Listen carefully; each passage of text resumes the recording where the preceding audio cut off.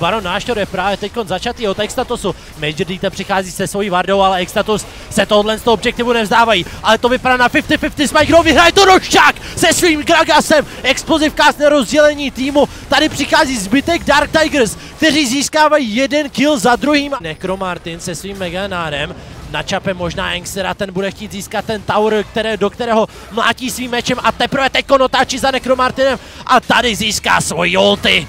Tak souboj mezi oběma junglery je tady po druhé. Kdo bude úspěšnější? Bude to Rošťák nebo to bude Semajk? Semajk už se trochu stahuje, Explosive Cast, stále ten Baron tam jenom hituje Extatus za souboj. Nakonec získá Russo Barona pro tým Extatus, kteří získají navíc Rošťáka. Pozor, Engser, tady v 1 v 3 souboji, tam je ale Kindred ultimátka, takže Engster pro sebe získá trochu času a poustí se do čtveři, do přesily, přijde totiž tým Dark Tigers, Necromartinovi, za chvíli přijde jeho Mega Narfurma, najde tři hráče, tam je Tarky se svým Flash Cosmic Binding a teďkon možná by mohli Extatus získat tenhle ten zápas pro sebe Russo, ale umírá nabitě jako v damage, Major D půjde taktéž zemi a teďkon s velkou pravděpodobností nikoliv, neboť Extatus poráží sice hodně složitě, ale ano, tým Dark Tigers pozice mezi, ale i přesto Morče jde do souboje, používá svoji ulti flash a Kvéčko by mohlo stačit, ale Morče netrefuje tenhle ten spil a tak Smoken vyhraje tenhle duel. Dobrý, Aqua Prism přichází od Jericha na hm, supporta Majestic Lion Savior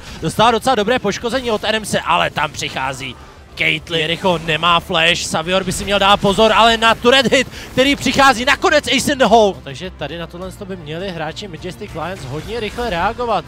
Ale reagují tím, že tady přichází právě Deathmark na jeho Savior i přesto dobrý smite přichází. Ale dobrá, taková dobrá bublina s exhaustem Ace in the hole. Bude stačit. Vidíte si, jak Adams dostane na, velice dobře nakopáno od uh, Saviora, který dalším skokem na Vardu a vynikajícím trefeným Sonic Wavem. Majestic Lions poráží Inside Games. Kapitálny pánek, že by šel pro následovat Humanoida, ten nemá flash. Nevím, jestli to kapitálny pánek ví, ale Rice je vybalancovaný čampion. Tady přichází opět kapitán Lepánek, který se pouští se svojí nedalí pro, proti Neonovi, ale tenhle to odskošení bylo možná na špatnou stranu, ale, ale sami teď konu smrtí svého marksmana. Zarotují na botlane. ale tady je Camilius. Iniciuje se svým uh, Alistárem a teď docela dobrá Petrifying Gaze od Bimba nachází humanoida, ale ještě je tam stále Neon, který má silného lušna, pouští se po Piokovi, ten musí flashovat, tady přichází k Serut, je tam ale úplně sám. A ne, on si sebere jeden kill, druhý půjde pro Pipouška, ale ještě repel a vypadá to, že Pipoušek se tedy dokáže dostat do bezpečí a tak Camilius odezdá killing spree, Humanoid už začíná se rozbíhat, Petrifying Gaze od Bimba asi nebude stačit, nebo Neon po něm flashuje pár krytů, double kill pro Marksmana Esoby. Spoustu poprav bylo dneska na vyvolávačově žlebu. Hlavy Erines padaly jedna za druhou, neboť je to popravčí Esuba, která poráží Tým Erines, sledujeme Kageho, jak tady teď v 1v2 situaci se mu zatím docela daří. Maokai proti Čarvánovi, ale tady to bylo parádní. Tady přichází odstraňovač a nachází Triogeta, ale tam je připravena Lamps Respite, odstraňovač flashuje právě do ultimátky od Kindred, která bude ale usmrcená od Jekyho. Tam přichází zprava ultimátka od Miss Fortuna a tady přichází Kage. A Toreto, první kill půjde pro právě Marksmana Revitalu, ale ten je tam pohazovaný ze strany na stranu právě Taliach. Odstraňovač ještě žije stejně tak jako Tail pronásleduje, dokáže se dobře vyhnout tomu z tomu Jarvánovi, ale ten damage je až moc velký. Kindred ultimátka přichází až, mo až moc pozdě, tady je Tail. Odstraňovač už se pouští směrem za Silovi, co ten zapíná svoji ulti a flashuje směrem na Zoirena, ale teď ta zeď nedovoluje Turetofovi trávě muset pustit do soupeřů, tak přichází teleport, dobrá Kindred ulti tam položená právě. Od Trajeho odstraňovače, ale má připravenou zónu, jeden kryt od Zoirena získá tenhle ten frak, tam ale je KG, a, so, a spol bullet time teďko až z moc velké dálky pospíchá tady Tail. Jeden kill získá na Trajem, druhý získá na Silovicovi nikoliv a tak shutdown.